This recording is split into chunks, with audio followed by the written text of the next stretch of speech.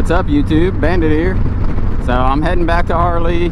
I've still got the 5 inch Klock Werks demo shield on so I'm heading there now to get them to hopefully switch it to the uh, six and a half inch and we'll do a review on that one uh, now that I've tried out the 5 inch.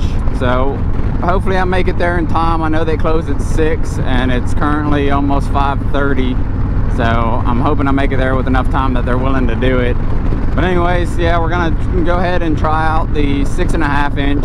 C1 if my uh, line of sight, if I can clear the top of the shield, and two to see if it does any better with the buffeting than what the five does. Like I said, the five already made a difference, um, but I'm wanting to go as tall as I can and still be able to see over the windshield so that way hopefully not only does it help with me but it'll help with the old lady on the back to reduce her buffeting as well. With her sitting higher than me I don't think this five is quite gonna cut it for her. Because if I put my hand up to the wind line it's right above my helmet right now. So that makes it to where it would essentially still be hitting her since she sits higher on the back. But we're gonna give it a try. Hopefully I can still see over it. And then hopefully it still looks pretty good on the bike. Because uh, the other thing I don't want is I don't want you know the super tall windshield just I like the more sleek look so we'll try out the six and a half see how it looks on here see if I can see over it and we'll go from there. Uh, another red light come on. Lights have not been in my favor trying to get to Harley. I've gotten caught at like every single light on the route here. Yeah I'm about to pull into Harley now so I will see you guys on the back side of it hopefully with the six and a half installed be back with you in a minute. What's up everybody? Back with you so now I have the six and a half Klock Werks on here.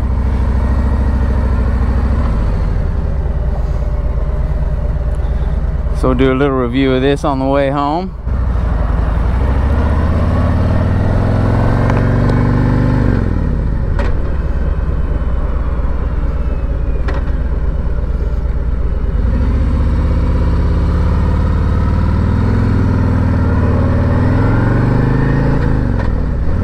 So six and a half at five foot seven, I am still able to easily see over the windshield. Even in my, so sitting up straight, I mean, the GoPro's not quite at my line of sight, so you guys can't really tell, but I mean, I'm a good three, I don't know, four inches above it, maybe. And then in my normal riding position, which is kind of slouched over because I have horrible posture. And I'll just say that right away. It is braking right below my line of sight. So I'd say my line of sight is probably about an inch, inch and a half above it. And so again, that's at five foot seven. So for any of you shorter riders out there, I know I had one guy in the comments uh, said he was also about five foot seven. Uh, so as long as your sitting height is about the same as mine which should be relatively close being the same height uh, you should be able to get away with the six and a half inch. And I do think the six and a half inch still looks pretty good from the front. So I'll do a walk around of it when we get back to the house and let you see what it looks like. But once we get up on the interstate and I get to about 70 miles an hour I'll uh, let you know how it is when it comes to buffeting so today is a windier day out. I don't know if you can tell with all the flags at the dealership there. They're moving pretty good. Um, so it is pretty gusty wind today. So it's not the best day to review because gusty conditions make a difference um, just in general.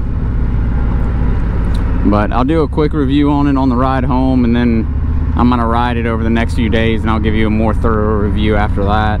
I also talked to them about my thousand mile service um, I figured so in the future I'm going to do most of my own maintenance on it when it comes to oil changes and everything.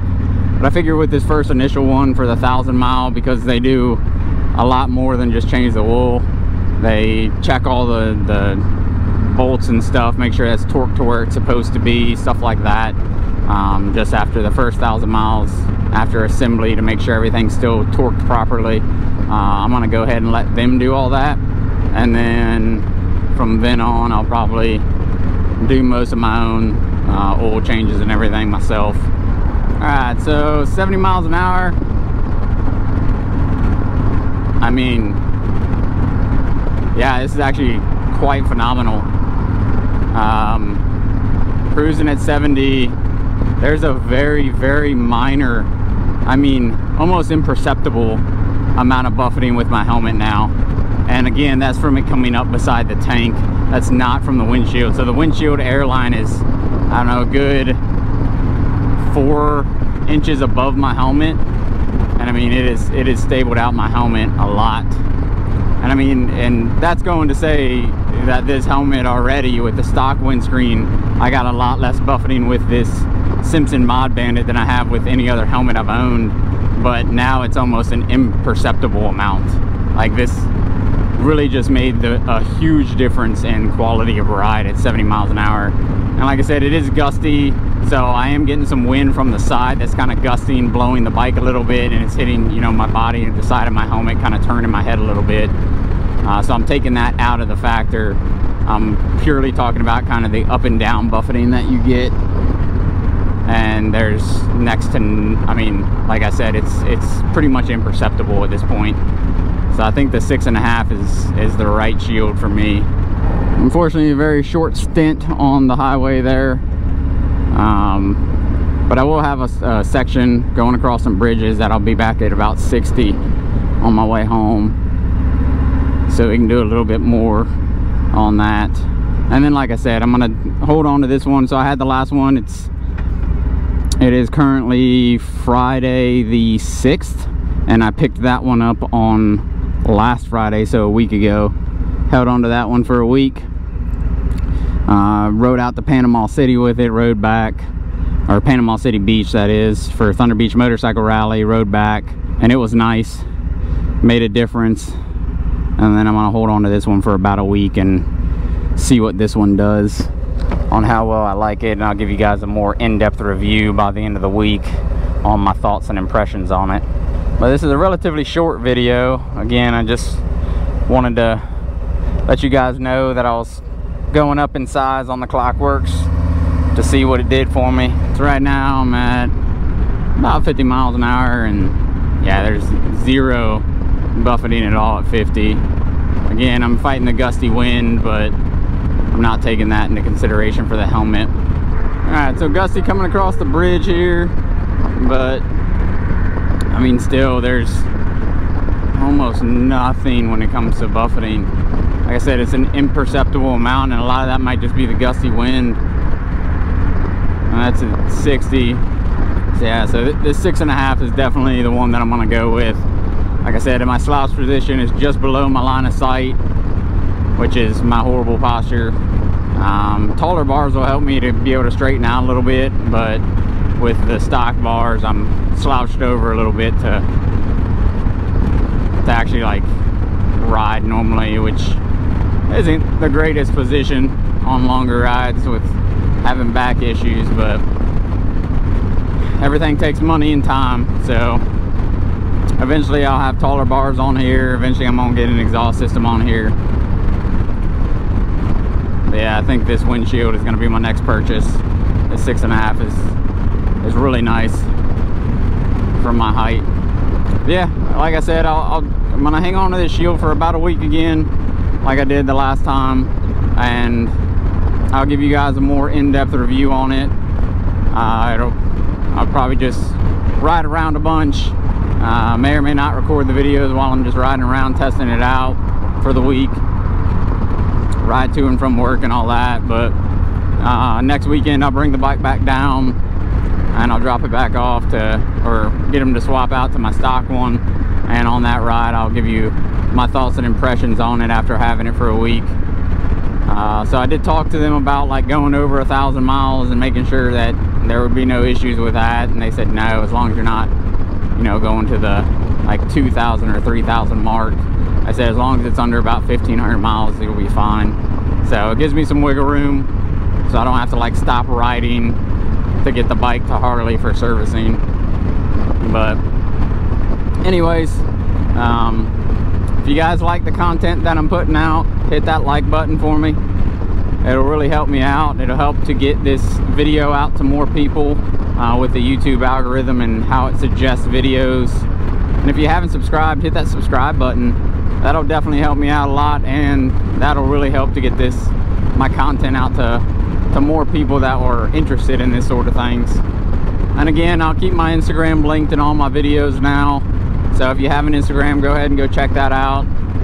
Um, it'll just be pictures. I posted some pictures on there from Panama City. I'll be continuously posting or continue to post pictures on there of mods to the bike and like teasers of upcoming mods to the bike but as always stay safe out there. Keep the rubber side down and I'll see you on the road. Bandit out. Sorry one more thing before I go. I almost forgot. I said I'd do a view from the front of the Klock Werks uh, six and a half inch on the street glide. So that's what it looks like. So it still looks pretty good still pretty slimline which I like. Kind of give you guys a side profile view so I think this is the one that I'm gonna end up going with to get the wind up over both of us. What's up YouTube? Bandit back with you so I'm just gonna, originally I was gonna do a whole nother video about the six and a half after I picked it up in a week long review, but I just decided that I'm gonna tie this all into one video. Um, so I've had the screen, or the clockwork six and a half for about a week now, actually right at a week now, and I'm headed back to Harley uh, with it, so I've ridden to work a couple days with it. Um, this will be my actually like first time after picking it up that I'll have any kind of extended on the highway. So because I'm leaving from work, I actually have more time on the highway than when I picked it up and I was going home from Harley. So right now at uh, 75 miles an hour, I'm coming across a bridge. So I'm actually getting some buffeting in the helmet and, and wind pushing me left and right. that's because of the bridge and I don't know if you can really tell, but these clouds so kind of dark and stormy out. So it is definitely a gusty, windy day, which is playing a role in it. But before I got to the bridge, it was very minimal buffeting, which truthfully, like I said, was, was caused by how gusty it is out today. Um, overall, this six and a half inch, I am very, very pleased with on its ability to get the wind up over me and not being beat up so much in the helmet with it. So this is definitely the, the windshield that I'm going to end up going with is this six and a half by Klock Werks. So it's a great windshield. Um, as I stated previously, I'm five foot seven. Uh, so I can see just over top of it in my normal slouch position uh, because of my horrible posture. So I can see like my eye level is probably inch, inch and a half above the windscreen. Sitting up straight, I'm a good five, five inches above it, six inches above it. Um, but yeah, my normal riding position, I'm probably about an inch and a half, maybe two above it. So I think the, the eight and a half, which is the next size up, would be too tall for me for my normal riding position. Uh, but this six and a half is pretty perfect. So this is a windscreen or windshield that I'm going to end up going with to put onto this bike. So right now, as I said, I'm taking the bike into Harley. I'm going to get my stock windshield put back on and I'm also going to get the uh, uh, 1,000 mile service as I previously stated, the, the service with the 1,000 mile, as far as I know, they do more than just change your oil to get that braking oil out. They retorque all your like major bolts on the on the bike after the first thousand miles to make sure everything's still torqued the spec or tighten everything back down after assembly. So that's the reason why I'm going to have them do this service. After that I'll take care of doing the oil changing myself. But I figure since they're to know check all the bolts and everything uh, I'll have them do it instead of me trying to figure out what all gets checked and do it myself. Pay them to do it call it good. But yeah uh, so right now i'm just heading down there. Like i said it is kind of dark and stormy out. It's been on and off of rain all day while i was at work and now i'm heading to harley. So luckily the rain has stopped but it's still pretty gusty wind conditions out which is kind of blowing the bike left and right but yeah now that i'm off that bridge i mean my buffeting is is near nothing at 75 miles an hour and what is still left is what is coming up beside the tank here. So if I put my hands down by my legs or in front of my knees right there, everything stops. So that tells me that what's left of my helmet buffeting is coming from beside the tank. So at this point, it's not bad enough for me to want to get the fork fangs uh, to mount to the forks to get that to stop. That may change in the future if like long distance rides it gets annoying or anything.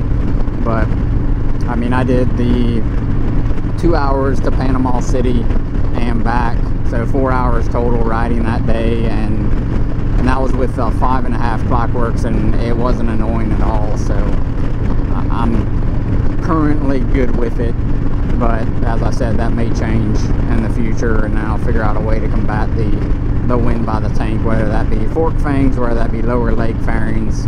Uh, both of those will help out with that great windshield. Uh, highly recommend it to anybody interested in Klock Werks It does a really good job. I think it looks good on the bike. Um, and this six and a half inch works well at five seven. In case anybody was interested in that for height wise on whether or not it would work for them. So if you're at five seven, it'll work. Uh, any shorter, if you are slouched over when you ride like I am, it may not work but at 5.7 it does. But yeah, if you guys got any questions or anything for me, uh, go ahead and leave them down in the comments down below and I'll do my best to answer them. And if you like the content that I'm putting out, hit that like button. Consider subscribing if you haven't already. And thank you to all those who have subscribed. Uh, I really do appreciate it. It helps me out a lot. As always, stay safe out there, keep the rubber side down, and I'll see you on the road. Bandit out.